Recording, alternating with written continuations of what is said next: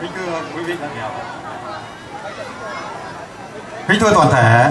nhân dân cùng các cháu thiếu nhi thân mến,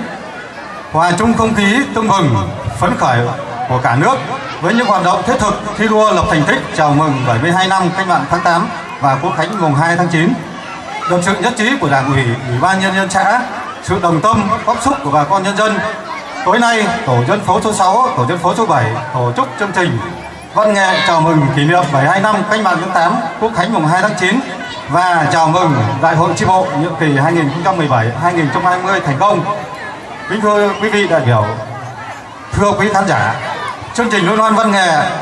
nhằm ca ngợi đảng vinh quang bác hồ vĩ đại ca ngợi đất nước trên con đường đổi mới phát triển những lời ca tiếng hát như một món ăn tinh thần vô giá khơi dậy tình yêu non sông đất nước, lòng biết ơn sâu sắc với đảng, bác hồ, vĩ đại, cũng như các anh hùng liệt sĩ đã hy sinh cho sự nghiệp giải phóng dân tộc. Để rồi, chúng ta càng thêm tự hào về những trang sử vẻ vang,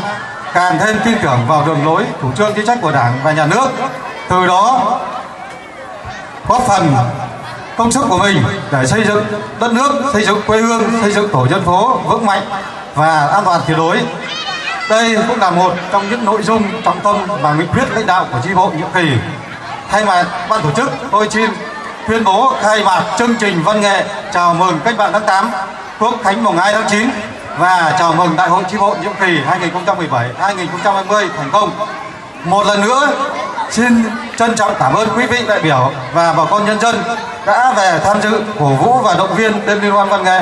chúc quý vị đại biểu và bà con nhân dân cùng toàn thể các cháu thiếu niên nhi đồng. Lời chúc sức khỏe, chúc cho đêm văn nghệ thành công rực rỡ. Xin chân thành cảm ơn.